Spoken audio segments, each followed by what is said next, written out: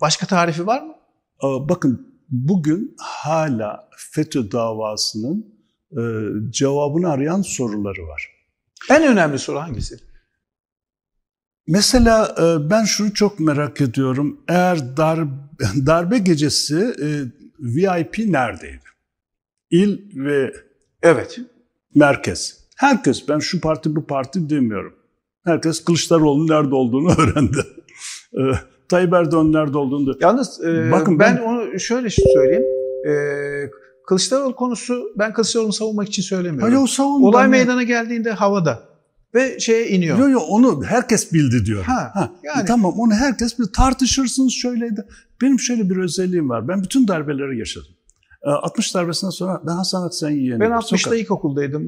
Ben, ben İmam Hatip'teydim, sokaktaydım. 12 Mart'ta mahkum oldum. Yurt dışına çıkmak için buraya geldim. İstanbul'a geldim. Hala buradayım. 12 Eylül'de Erbakan'ın danışmanıydım. Ee, 28 Şubat'ta Sincan toplantısını ben düzenledim. Beni sanık yapmadılar. Kimse yapmadı. Mecliste 28 Şubat soruşturmasına beni dinlemediler. Çünkü anlatacaklarım kimsenin işine yaramıyor. Evet. Yaramıyor. Doğru.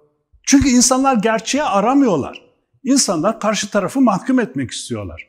Ya 28 Şubat'ta e, bir gün önce ben NTV'de gece 2'ye kadar biz darbe geliyor mu onu konuştuk. E bu, o mantı izleyin ya.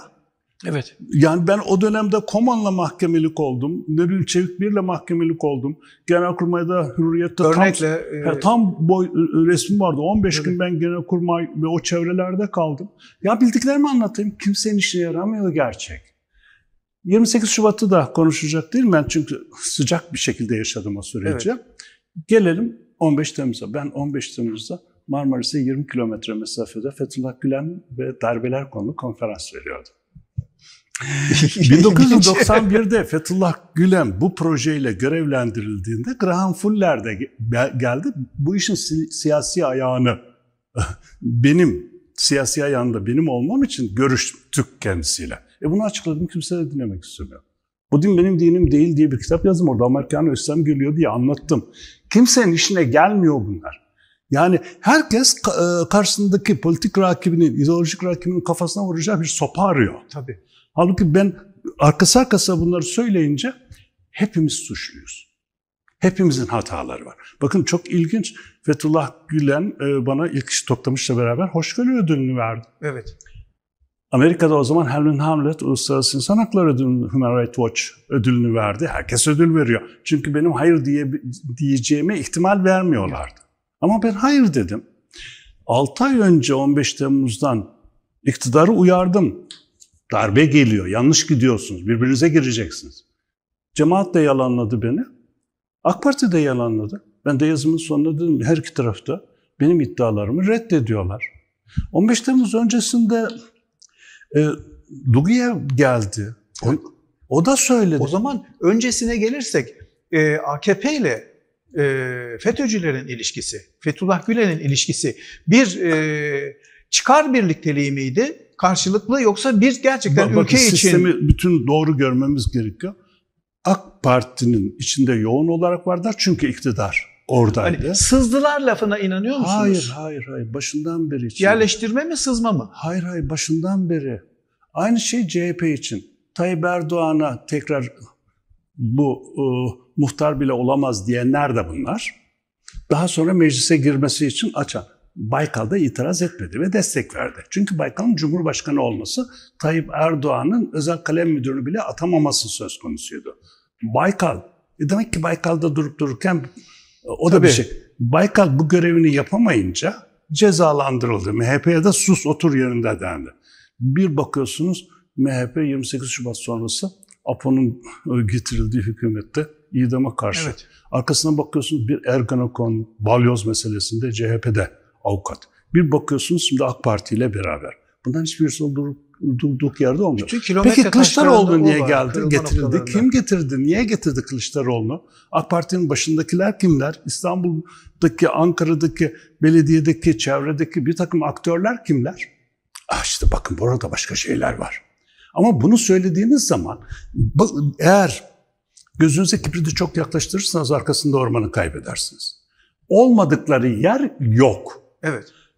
Nerede daha fazlalar, nerede daha fazla iş varsa oradalar. Peki, hiç mi fark etmediler? Fark Kamer Genç mecliste söylediği Peki, zaman yani- AKP grubundan Kamer Genç'in üzerine yürüdüler. Dövmeye kalktılar mecliste. Tamam görmek Kur'an-ı Kerim'de şöyle bir ayet var. Görmek istemeyenden daha kör kim olabilir?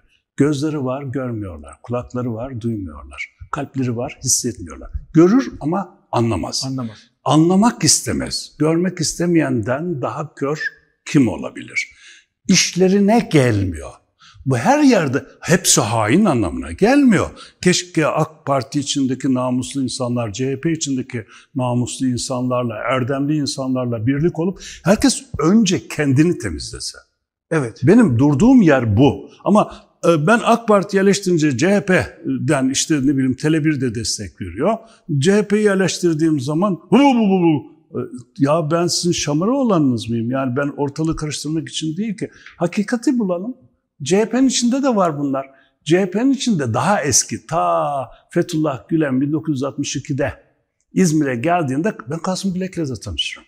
Ta e, altı- el- 60'tan sonra. Ki o da çok tartışmalı bir politikacıdır. Tamam onun kızı kim, Kasım Gülek kim? Yani genel sekreter bu adam. E o zamandan önce e, Fethullah Gülen'in arkasındaki isimler kimler? Bunun Diyanet Ayağı Yaşar Tunagör. MİT Ayağı, Amerika CIA bağlantısı, askeri istihbarat bağlantısı Fuat Doğu. Ki e, Yeşil Kart olayında FBI karşı çıktığında CIA Tabii. tavsiye mektubu Tabii göndermişti. yani e, Fuat Doğu. Fuat Doğu'nun kim olduğu da belli. Kendi itirafları da var. AKP bunun neresinde? E, AK Parti'nin kuruluşunda zaten iki tane ayak vardı. Bir tanesi Tayyip Erdoğan'ın Anadolu'yu örgütlemek için İstanbul'da başlattığı hareket. Bir tanesi de e, Ankara'da Abdullah Gül triosu şu. Bir şey söyleyeyim araya o. O yıllarda ilk AKP kabinesinde, ilk AKP kabinesi kurulmak, Recep Tayyip Erdoğan kabinesinin kurulduğunda tanıdığım bir iş adamı vardı e, Gülen'e yakın. Sizden kimse var mı diye sormuştum ben. İlk kabinede 8 bakan var demişti. temas kurdukları. Yani bakın e, bunların üç dereceli ilişkileri vardı. Birden bir kısmı doğrudan kriptodur. Bir kısmıyla çıkar ilişkileri kurmuştur. Hiç yani kriptodan daha tehlikelidir çünkü her taraftan kuşatılmıştır. Bir tanesi de temas noktası vardır. Yani orada bir bağlantı e, kaynağı vardır. Şimdi AK Parti'nin Ankara ayağında kim vardı? Abdullah. Gül. Yanında Eski İçişleri Bakanı e, şey e, Beşir e, Bey. e, Hayır hayır. Abdullah Gül'ün yanında olan e, Bülent Arınç, Bülent Arınç. Abdullah Gül, Bülent Arınç bir kişi daha var merkezde. Bu trio e, Ankara'yı örgütlüyordu. Ankara daha çok uluslararası diğer harici gruplarla temas halindeydi. Bunların Anadolu teşkilatı yoktu. Tayyip Bey'in de uluslararası bağlantıları zayıftı. Bu ikisi bir araya gelerek partiyi kurduklarında FETÖ'cüler de etraftan e, mesela işte soldan da bir takım kişiler ba- bakan bakan oldular. Bunlar dururken olmadı.